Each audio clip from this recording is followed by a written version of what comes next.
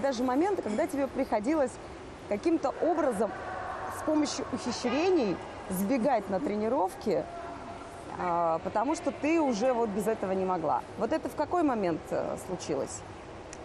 Ну, наверное, это пятый класс, когда, в общем-то, пошли результаты в плавании. Плаванием я занималась, да, я действительно сбегала, изощрялась всякое разное, сочиняла всякие разные истории, чтобы уйти с уроков. Сама бежала в бассейн, при этом маме я говорила, что я там в школе задерживаюсь. И, в общем-то, ну, по итогу, опять же, благодарна очень тем людям, педагогам в школе, которые по итогу поняли, что я, в общем-то, не бездействую, не болтаюсь на улице, а иду к какой-то своей там цели. И, в принципе, ну, в школе по итогу поняли это и пошли навстречу, стали помогать. И уже беспрепятственно потом, если любую там уход на тренировку, они мне спокойно отпускали. Герой программы «Профиль» Татьяна Петрова, главный тренер ватерпольной команды «Югра». Личные достижения. Бронзовый призер Олимпийских игр в Сиднее в 2000 году. Участница Олимпийских игр в Афинах в 2004 Победительница Кубка Европейских чемпионов. Бронзовый призер чемпионата мира. Серебряный призер чемпионата Европы. Трижды бронзовый призер чемпионата Европы. Чемпионка России 1998-2002 годах. Победительница Кубка России 2002, 2004, 2006. Достижения клуба «Югра». Четырехкратные бронзовые призеры чемпионата России. Четырехкратные бронзовые призеры Кубка России. Двукратные серебряные призеры Кубка Европы. Достижения спортсменок команды в составе сборных команд России. Всемирная летняя универсиада в Китае – третье место. Чемпионат мира в Италии – третье место. Мировая лига в Китае – второе место. Всемирная летняя универсиада в Казани – первое место. Всемирная летняя универсиада в Южной Корее – третье место. Летние Олимпийские игры в Рио-де-Жанейро – бронза. Конечно же, я на сегодняшний день считаю, что человек, который чего-либо в итоге добивается в спорте, это все роль первого тренера, тех людей, которые встречают человека, когда он приходит, записывается в какую-либо секцию. Ну и водное поло случилось не сразу. То есть это был такой какой-то вот э, тоже непростой путь. Вот расскажи, как это происходило. Ну да, в общем-то, долго я не могла на это поддастся, на уговоры, что все-таки результатов плавания уже нет. И там я реально понимала, что никогда не побью ни рекорды мира, не стану олимпийской чемпионкой. Но все-таки это любовь к плаванию в тот момент. Это были там конец 80-х годов. Несколько лет меня, на протяжении двух лет тренер в плавании меня уговаривал, давай попробуем водным полом. Я говорила, вы хотите от меня избавиться, вы не хотите, чтобы я вас там тренировалась. Ну, то есть, действительно, в тот момент любовь к плаванию, которую мне привили до этого, преданность плаванию, как бы, она давала о себе знать. И, да, долго я не уговаривала, ну, не могла податься на эти уговоры.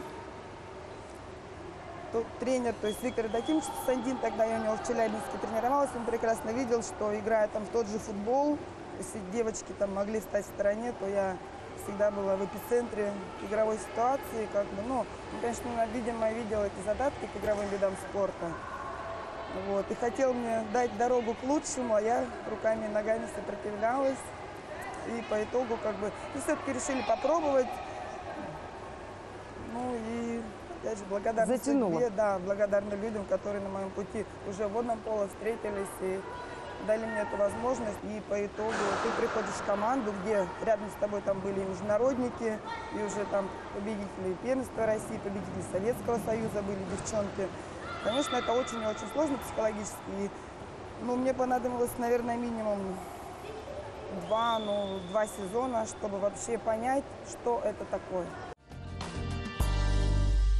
Это, наверное, один из немногих тех людей, с которым я основную свою спортивную карьеру прошла плечо к плечу. Э, Мы многого достигли, но она была в нашей команде капитан. И это был тот человек, который нас подвиг нам большую часть наш, наших побед. И это тот человек, который нам открыл глаза на то, что мы можем попасть в сборную страны, мы можем на международной арене играть, выигрывать, э, приносить своей стране медали. И это тот человек, который всегда, независимо от своих обстоятельств, находила слово, дело, которым могла тебя подбодрить, дать себе тот толчок, чтобы ты реализовала саму себя. Не она, а именно для меня, как для спортсменки, чтобы я могла состояться. Первое, что видишь еще до начала общения с Татьяной Петровой, это улыбка. Знаете, у меня было много разных героев и интервью, но такое ощущение возникло впервые. Она улыбнулась, и все мои возможные опасения по поводу первой встречи мгновенно рассеялись. Напротив, возникло ощущение легкости, какое бывает только с людьми, которых хорошо знаешь, и с которыми не нужно держать лицо. Ну или с кем-то поистине сильным и мудрым. Я не ошибусь наверняка, если скажу, что кульминационным моментом все-таки в спортивной карьере э, были бронзовые медали э, Олимпиады в Сиднее. Однозначно. А как к ней э, подготовка шла? Вот что такого вы сделали, чтобы совершить такой прорыв? Ведь это действительно был прорыв в российском спорте на тот момент. Ну, это были вообще первый раз в истории всего женского водного пола, когда в 2000 году водное поло включили в программу Олимпийских игр. Это все, конечно, произошло благодаря ну, в большей степени австралийским спортсменкам, ватерполисткам, которые вели ну, там, обалденную пропаганду для того, чтобы женское водное поло стало олимпийским видом спорта.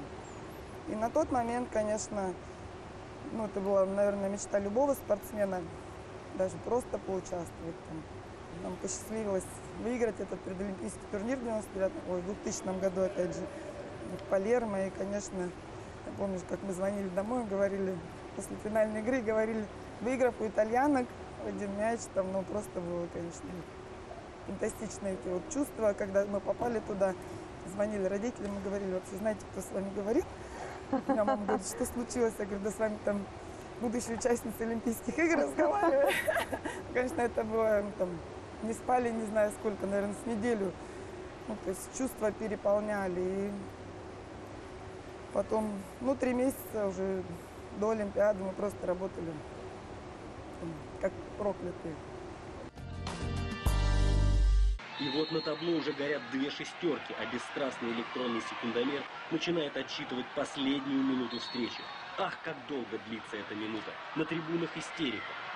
Чуть больше 30 секунд оставалось до спасительного финального свистка. Потом могло быть дополнительное время, а там, глядишь, наши соберутся. Но вот этот мяч поставил крест на всех золотых надеждах России. На самом деле турнир сложился тогда не так просто для нас. Как бы первую игру вели с канатками 9-7, и в итоге сыграли ничью 9-9, и тут немножко надломилось. То есть мы ехали заряженные, да, ну и у нас не получилось, мы потом проигрываем и американкам. И по итогу перед последней игрой мы понимаем, что, что в общем-то, у нас еще есть шансы. Вот со сборной команды Голландии нам, в общем-то, в плане того, что это, опять же, очень была титулованная команда на тот день, но наши тренера выбрали такой план подготовки, что мы 10 дней провели в Голландии перед турниром. Ну, мы них не часто выигрывали, скажем так, очень и очень редко. И вот этот турнир неофициальный, он нам за 10 дней, мы там подобрались к ним потихонечку. То есть психологически мы были уже готовы к тому, что мы можем обыграть сборную Голландии. Вот как раз эта победа и дала нам шанс бороться за медали в групповом турнире. Ну, еще по ходу группового турнира, вот последняя игра, мы выиграли, и дало нам шанс бороться за медали. И, в общем-то, полуфинальная игра с хозяйками, с австралийками складывалась, ну, так неплохо. Мы вели, но чуть-чуть, скажем так, последний период отдали и один мяч проиграли. Вот, ну и в финале за бронзу 4-3, как бы счет, когда они 2-0 повели, мы сравняли 3-3, 4-3, да, конечно, ощущение, ну, действительно, да. Как сейчас, вот я реально сейчас рассказываю, как будто вот мы сегодня играем Снова финал, переживаешь за, финал за бронзовые медали, да. Угу. Конечно, в карьере наверное, больше, когда мы выиграли первые медали в Югре, вот сравнить и не с чем. А когда пришло понимание, что уже э, есть желание и возможность отдавать, делиться уже накопленными знаниями, опытом, э, вот ну, наверное, всем этим?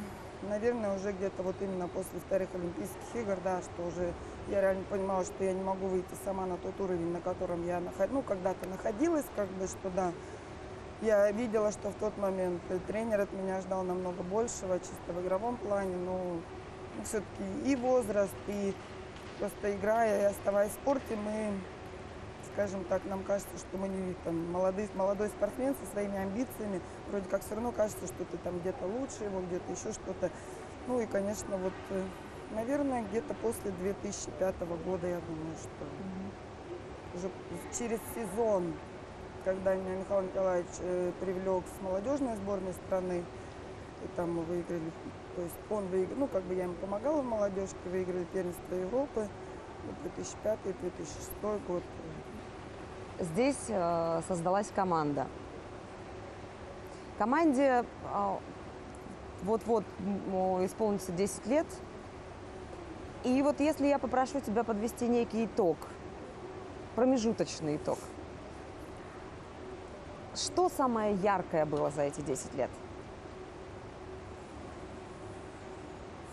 Ну, здесь, наверное, конечно, не сказать, что это там медали наших воспитанниц в Рио, это однозначно, сто процентов, как бы, но это там, я не знаю, мечта, опять же, любого, вообще любого человека, который работает в спорте, олимпийская медаль, это, причем девчонки также пробирались там не- непонятно через какие пути, и там уже стоял вопрос до последнего момента, будем ли мы участвовать на Олимпиаде, там не будем, и они попали через последний отбор, там прыгнули в последний поезд. Ну, как бы, да, сложно.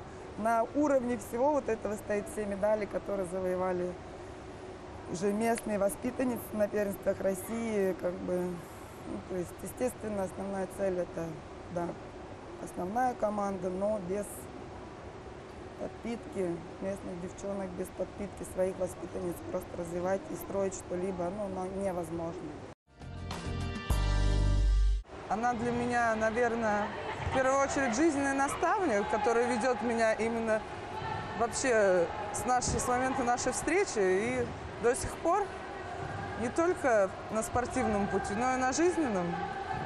Много чему она меня научила э, и продолжает учить. В какие-то моменты она как подруга, в какие-то как мама, в какие-то только как тренер. И э, она, ее образ именно собирается в каждом моменте нужный. В каждом моменте она именно находит, э, кто сейчас она для, будет для меня. Каковы перспективы команды с твоей точки зрения как главного тренера? Вообще, на самом деле, я считаю, что очень-очень важно в спорте это вера вот именно в то, что ты делаешь. И когда удается добиться от народа, что они могут понять, что я действительно верю в то, что мы можем добиться, это самый-самый идеальный вариант для работы. Интересно, как в человеке могут сочетаться, казалось бы, несочетаемые качества. Железная воля и какая-то трогательная мягкость, строгость тренера и забота мамы. Наверное, такая гармония приходит только с серьезным жизненным опытом, с пониманием того, что без поражений не бывает побед, с завоеванными и проигранными медалями. И главное, чему научилась моя героиня, это, уронив мяч, не уронить достоинство.